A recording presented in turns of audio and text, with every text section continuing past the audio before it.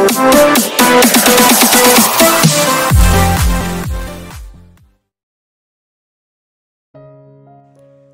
10 Lies, Secrets, and Denials Nilingon niya ito at nakita niya ang isang taong kumakaway sa kanya. Kaklase nga niya to nung college. Nilapitan siya kaagad nito. Kumusta ka na? Bati niya dito. Ikaw, kumusta? Ang tagal na nating di nagkita at dito pa talaga. Oo nga eh, ang tagal na rin. Sang-ayon niya rito. Um, may kasama ka ba? Tanong nito. Mabilis siyang sumagot. Ah, wala. Mag-isa lang ako. Pagsisinungaling niya, hindi na siya nakapag-isip pa. Ahala ko naman kasama mo si Megs. Komento nito. Break na kami. Pag-amin niya rito. Ganun ba? I'm sorry to hear that. College days pa kayo, di ba? Sayang naman. Well, ganun talaga. Wala namang permanente sa mundo. Sagot niya rito habang hinahanap ng paningin niya si Nikolay. Hindi na siya mapakali. Nakita niyang kusa itong lumayo nang marinig nito ang sinabi niya na mag-isa lang siya. Hindi rin niya to nilingon. But still, sayang because you two are so in love. Well, I have to go. Nakita niyang nasa escalator na si Nikolay. I thought manonood ka ng sine. Sumabi ka na sa amin. Aya nito. Tapos na. Palabas na nga ako. Pagsisinungaling niya. O nga pala, here's my calling card. Sorry ha, but I need to go na. Nagmamanali niya niyang paalam dito. Kailangan niyang maabutan si Nikolay. Alam niyang narinig nito ang mga sinabi niya. Bakit ba naman kasi nagsinungaling na naman siya? Makailang minuto bago. Nang marinig ni Nikolay ang usapan nila, tahimik na umalis si Nikolay sa tabi ni Natalie nang makita nito ang mga kakilala ng huli. Halata kasing medyo nagpanik ito. Hindi niya alam kung maghihintay siya sa kotse o uuwi na lang siyang mag-isa. Minabuti na lamang niyang maglakad-lakad sa labas ng mall. He needs fresh air din naman. Nagmamadaling lumabas si Natalie. Alam niyang umalis si Nikolay dahil sa narinig nito. Wala ito sa kotse kaya minabuti niya itong hanapin at nakita niya nga itong nakaupo sa may labas. Nakahinga naman siya ng maluwag dahil hindi naman pala ito tuluyang umalis. Nico, I'm so sorry. Hinging pa umanhin niya kaagad dito. Aminado sa kasalanan. Okay lang yun. May iba pa namang araw. Hayaan mo, manghihingi uli ako ng pases. Hindi ko lang alam ang sasabihin ko kaya nakapagsinungaling ako. Naiintindihan ko. Siyempre naman nakakahiya ang itsura ko. Sobrang kupas na nga tong pantalong suot ko tapos naka-uniforme pa ako. Para lang akong estudyanteng nagbubulakbol sa eskwela. Malungkot na sagot nito. Natahimik naman si Natalie dahil totoong natakot siyang magtanong ang mga ito kung bakit niya kasama si Nikolay na isang estudyante sa panunood ng sine. Mauna ka na lang, magpapahangin lang ako. Gusto na siyang paalisin ni Nikolay. Malayo dito bahay mo, ahatid na kita. Offer niya dito. May pamasahe pa naman ako at saka malamig sa sasakyan mo hindi ako sanay. Pagdadahilan nito.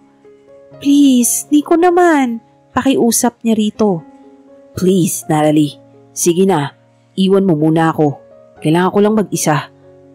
Hindi na pinilit pa ng dalaga na ihatid si Nikolay. Alam niyang masama ang loob sa kanya nito at di niya yun masisisi dahil aminado siyang natakot siya. Nang makaalis na si Natalie ay nagpa siya na ring umuwi si Nikolay. He kind of hated himself dahil nag-self-pity talaga siya kanina.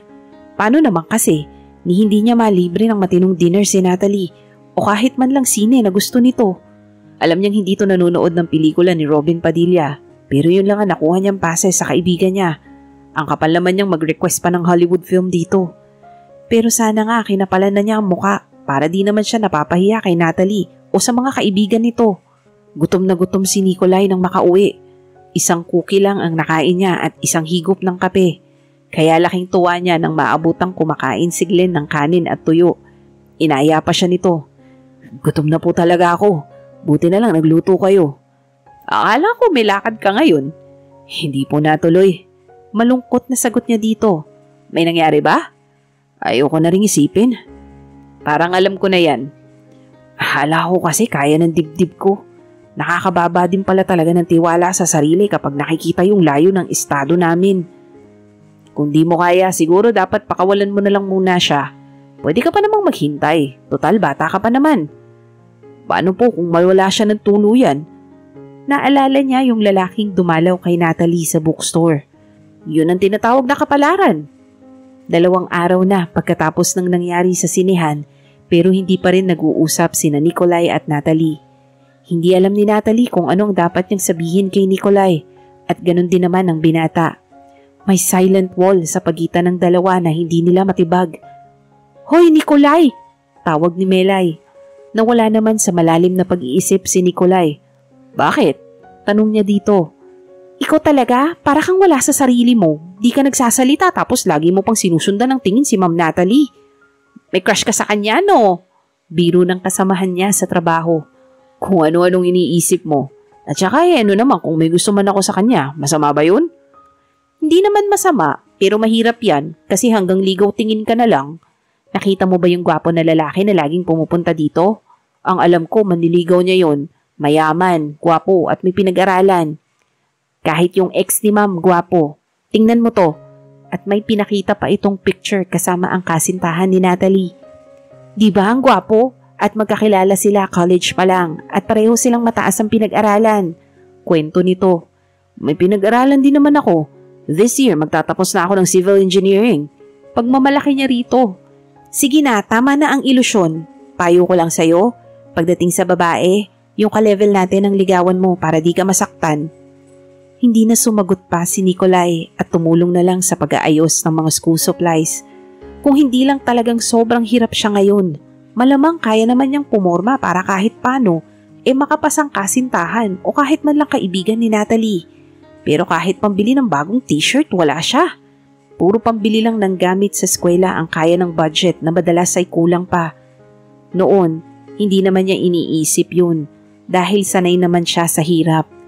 Kahit kailan, ay hindi niya ikinahiya ang estado nila sa buhay.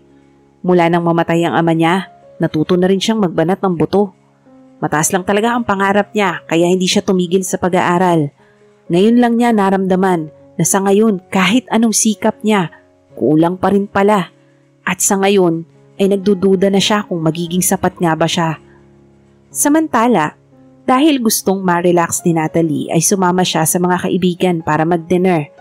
Ang totoo, Parang medyo ayaw na niyang kumain ng mag-isa. Mula kasi nung inaaya siya ni Nikolay na kumain at nakakukwentuhan niya, parati niya na itong inaabang-abangan. Minsan kumakain sila sa maliit na karinderya, minsan sa kotse lang kapag may dala itong veggie burger.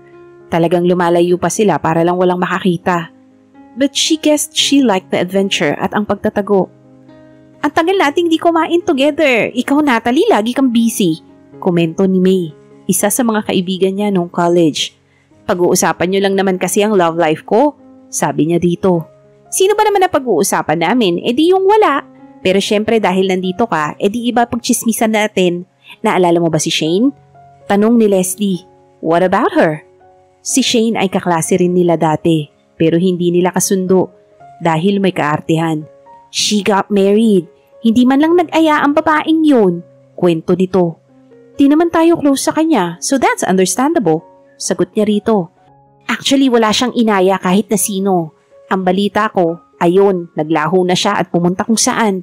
Kwento ni Leslie. So ano to dahilan? Curious na tanong ni May. Walang gana si Natalie sa pinag-uusapan. Pero she might as well listen kesa siya naman ang tanungin ng mga ito. Ang balita ko, nagpakasal daw sa isang loser. Nabuntis kaya ayun, walang choice. Nasa early 20s lang daw yung lalaki at ni hindi nakapagtapos ng college. Di ba pangarap niyang makapangasawa ng mayaman? Yun pala, cradle snatcher lang pala ang magiging labas niya. So much for taste and high standard! Natawa si Leslie at May sa sinapit ng kaaway. Hindi na matiis ni Natalie ang usapan ng dalawa. I have to go. Natalie, hindi pa tapos ang dinner natin. Kadarating mo lang. Pigil sa kanya ni May. I'd rather rest. This night is dead anyway. At tuluyan na nga siyang umalis habang takang-taka ang mga kaibigan sa inasal niya. She knew maling mag-walk out. Hindi siya dapat nainis sa mga kaibigan pero hindi niya matiis ang makinig pa sa mga ito. Para kasing siya ang pinag-uusapan ng mga ito. Paano niyang ipapakilala si Nikolay sa mga ito? They might think he's a loser and that she has low standards pagdating sa lalaki. Pero hindi naman niya kayang i-give up na lang ng ganong kadali si Nikolay. Kinuha niya ang phone sa bag at tinawagan ito. Nikolay, can we talk? Magkita tayo. Nagulat si Nikolay sa pagtawag sa kanya ni Natalie. Gusto na niya itong kausapin pero hindi niya alam ang dapat gawin o sabihin dito. Kinulang ba siya sa pangunawa? Aminado naman siya sa sarili niya na medyo nakakaramdam siya ng insecurity at yun siguro ang dahilan kung bakit siya naging sensitibo dito. Wala silang formal na relasyon pa pero may unawaan na sila. Siguro oras na para linawin ang lahat sa kanila. Sige, pupunta ako. Sagot niya dito. Sa isang class na restaurant sila nagkita. Puro nakaporma ang tao kaya nag-alangan si Nikolay na pumasok. Naka-t-shirt at maong pants lang kasi siya. Buti na lang sa entrance pa lang ay nakita na niya si Natalie. Kumaway ito sa kanya kaya nilapitan niya ito. Hi! Medyo napaagan dating ko. Umorder na ako ng food. Masarap ang steak nila dito. Pinipilit ni Natalie maging kaswal. Nakalimutan mo yatang hindi ako kumakain ng karne. Paalala ni Nikolay. Oh gosh! I'm sorry, nakalimutan ko nga. Tinawag uli nito ang waiter. Uh, please cancel yung isang order ng steak. Palitan niya na lang. What do you wanna order? Tanong nito kay Nikolay. Salad na lang. Matipid niyang sagot dito. Pagkaalis ng waiter, katahimikan ang namayani sa kanilang dalawa. May sasabihin ka, di ba? Tanong ni Nikolay. Masama pa rin ba loob mo sa akin? Nag-aalangang tanong niya dito. Hindi na, naiintindihan ko naman. Medyo alangan naman kung ipapakilala mo ko sa mga kaibigan mo. Gaya sa lugar na to na sobrang alangan ako. Feeling ko kanina palalabasin ako o sasabihin nila, Boss, bawal po kayo dito, di bagay ang suot nyo. I didn't mean to make you feel out of place. May pinuntahan kasi akong kliyente malapit dito. Ito yung pinakamalapit na kainan na alam ko kaya dito na ako nagpareserba. Gusto mo bang lumipat sa mas komportable ka? Tanong nito. Okay lang, hindi lang talaga ako sanay. Alam mo na, laking bukid. Hindi gumagamit ng kutsilyo sa pagkain. Hindi naman niya gustong maging sarcastic, pero tila yun ang lumabas sa bibig niya. Uh, para sa steak lang naman yan, panghiwa. Hindi mo kailangan gamitin. Sagot nito. Akala ko ba hindi ka kumakain ng karne? Hindi naman nakasagot si Natalie. Nahihiya sa ginawang pagsisinungaling. Meron ka pa bang ibang hindi sinasabi sa akin? Tanong niya ulit dito. Wala na, okay. Alam mo na ang lahat. Puti na lang at dumating na ang pagkain dahil medyo hindi na maganda ang tinatakbo ng usapan nila. Let's just eat first. Pakiusap ni Natalie. Sumang-ayon naman si Nikolay at tahimik silang kumain na walang imikan. Nang matapos silang kumain, si Natalie na ang bumasag sa katahimikan. Alam ko nagtatampo ka pa rin sa akin, but I wanna make it up to you. Kinuha niya ang mga shopping bag at ibinigay yon kay Nikolay. Ano to? Binila kita ng mga damit, sapatos, kailangan mo yan dahil puro luma na ang mga gamit mo. Hinulaan ko lang yung shoe size, pero tingin ko tama naman yan. Sa shopping bag pa lang, alam na ni Nikolay na mahal ang mga binili ni Natalie. Hindi ko to matatanggap. Ibinalik niya ang mga gamit dito. Uh, pero bakit? Kailangan mo to. Natalie, puro signature yan. Ni hindi ko nga kayang i-pronounce yung mga tatak niyan. Kapag sinuot ko yan sa trabaho o sa school, maraming magtataka na paano ang isang tulad kong estudyante na walang pera ay makakabili ng brand new at mamahaling gamit. Sagot niya dito, eh di kapag lumalabas na lang tayo tsaka mo isuot. Suhestyon na dito. Para ano? Kailangan ko ba talaga ang mga yan? Eh di ba ikaw na rin ang nagsabi? Feeling mo hindi ka bagay sa lugar na to. Sa lifestyle ko. So I'm just helping you out to fit in kahit man lang sa pananamit. Please, gusto ko lang naman na may maibigay sa'yo pakiusap nito sa kanya. May ukay naman eh. Marami ring branded doon, mas mura pa. Kaya mo, bibili ako doon ng mga damit para hindi ako maging alangan sa'yo. Sa totoo lang, pakiramdam niya ay nainsulto siya sa ginawa nito. Alam niya she meant well. Pero kahit anong gawin niya, ay sumama pa rin ang loob niya dito. Hindi ba talaga siya sapat dito? Noon namang nasa probinsya pa siya, hindi naman naging issue dito ang itsura niya. Ngayon lang. Ayaw mo ba talagang tanggapin Tanong uli nito. Nilibre mo na ako ng pagkain. Okay na yun. Kailangan ko nang umalis. Paalam niya. Ayaw na niyang magtagal pa sa mamahaling restaurant na to. Pakiramdam niya kasi ay hinuhusgan siya ng mga tao base sa itsura niya. At di rin nakatulong ang pagbibigay sa kanya ni Natalie ng mga regalo. Lalo siyang nakaramdam ng pandiliit sa sarili. Saan ka pupunta? Hindi mo pa ubos yung pagkain mo. Habol nito. May usapan kasi kami ng mga kaklase. Ngayon ko lang naalala. Huwag ka nang sumabay, baka may makakita pa sa atin. At iniwan na nga niya itong mag-isa. Hindi rin niya dinala ang mga regalo nito. Malungkot si Natalie habang nasa restroom. The dinner date didn't turn out well. Kung hindi man, parang lalong lumala ang pader sa pagitan nila ni Nikolai. Ayaw niyang isipin na lumalayo sa kanya ang binata, pero yun talaga ang nangyayari. Parang baliwala ang mga effort niya dito.